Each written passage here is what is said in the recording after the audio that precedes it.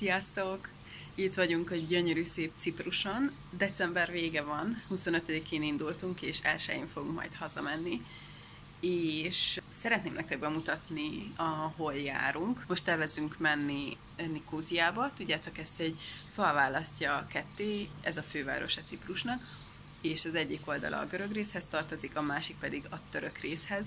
Nagyon érdekes lesz. Szeretnénk átmenni a török részre is, hoztuk az útlevelet is. Szóval úgy tervezzük, hogy átsétálunk oda, a falnál le lehet tenni a kocsit, átsétálunk szépen, és, és már ott is vagyunk, és szét tudunk nézni azon a területen is. Ez egy esős évszak, szóval simán benne van alatban, hogy most mindjárt napozok egy kicsit bikiniben, de egyébként pedig délután vagy este felé pedig esik az eső, de remélem, hogy nem így lesz.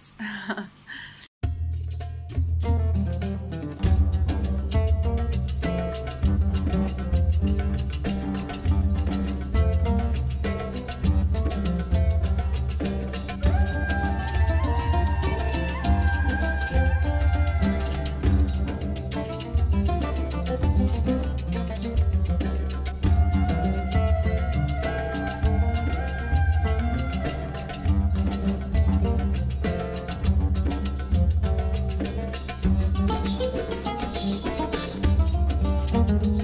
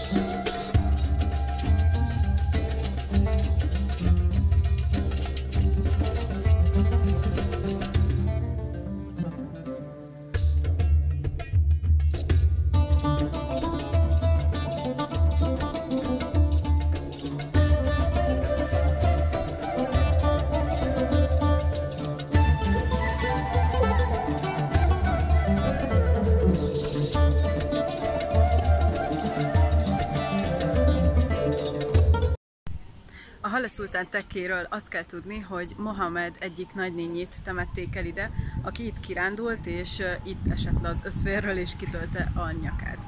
Úgyhogy az ő emlékére lett állítva, mi ezért a helyért 60 kilométert utaztunk kb., de egyáltalán nem volt megterhelő, mert nagyon figyelmesek az utakon, tehát itt szépen vezetnek, nem úgy, mint általában külföldön, és a, az autópálya pedig ingyenes úgyhogy teljesen megérte, szerintem nagyon szép hely.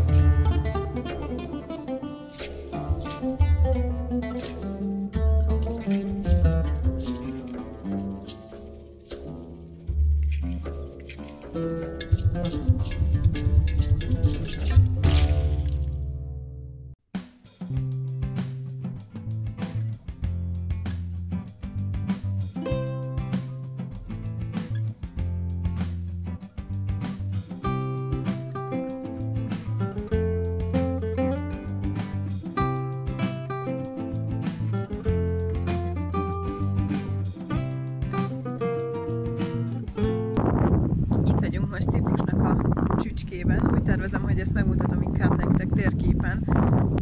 Ez itt körben természetvédelmi terület, és nagyon-nagyon szeles, de még így is elképesztően gyönyörű.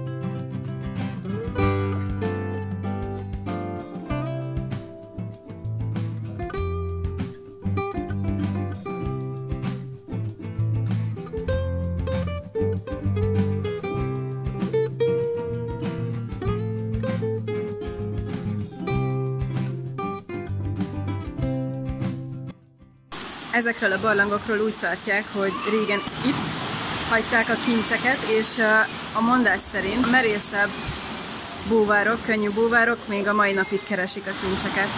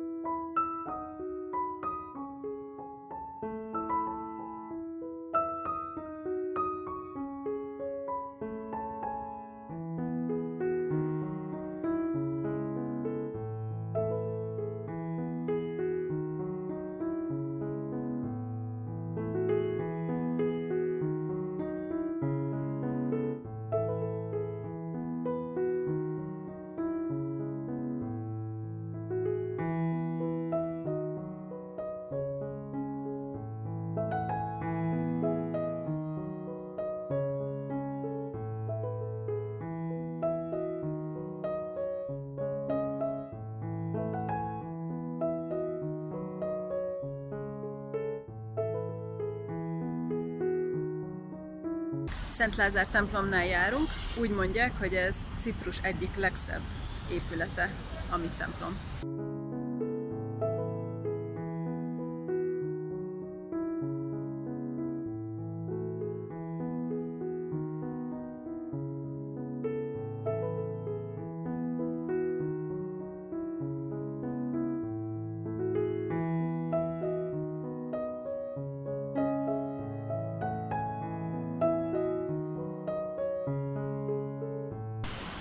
Ez egy óriás karácsonyfadísz, ez este biztos nagyon szép. Kivilágítva.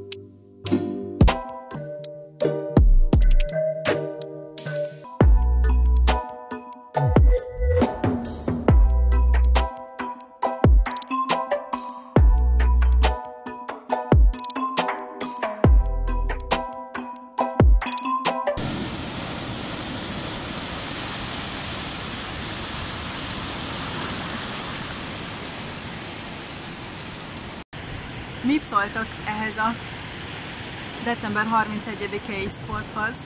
Azt hiszem, hogy még arról nem is beszéltem nektek, hogy uh, ugye december 25-én érkeztünk ide Ciprusra, és nagy kérdés volt számunkra, hogy karácsony lévén milyen volt lesz nyitva, és azt az infót hallottuk, hogy nyitva lesz minden. Biztosan kedvéért azért készültünk kajával, de jól is tettük, mivel nem volt nyitva semmi. A mi helyünkön, ahol lakunk, azt hiszem, hogy egy ilyen éjjel-nappali szerű volt volt nyitva, és ott tudtunk vásárolni. Már 26-án jobban nyitva voltak. A szállásunknál is van metró, Lidl, szóval ilyen nagy szupermarketek mind nyitva vannak, és, és tudtunk vásárolni már 26-ától. Ami még érdekes és szintén kérdéses ugye számomra mindig, hogy gluténmentes kajákat tudok-e vásárolni.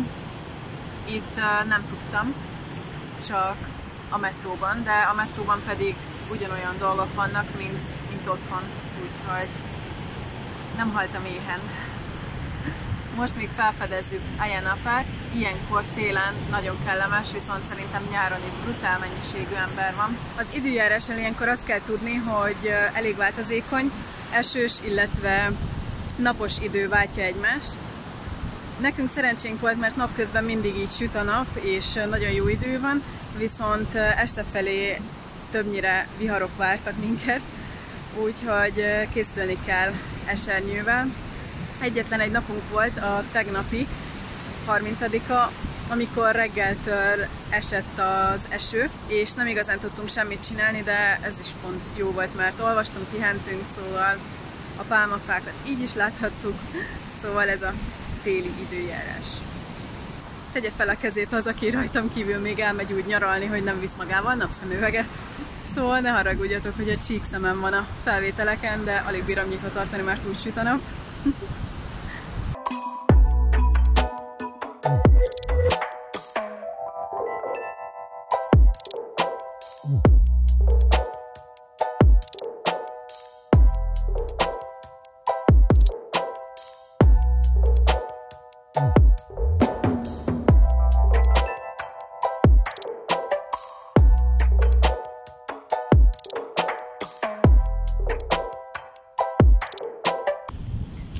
Gondolom, hogy nagyon élhető város itt Lárnaka és környéke. Ayanapán nagyon bulizós, viszont most rengeteg helyzárva volt.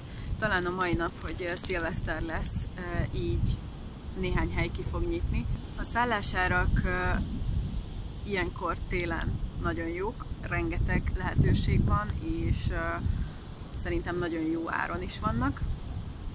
Hogyha esetleg bármit kihagytam volna amire kíváncsiak vagytok, akkor nyugodtan írjátok meg, és megpróbálok válaszolni rá, hogyha tudok.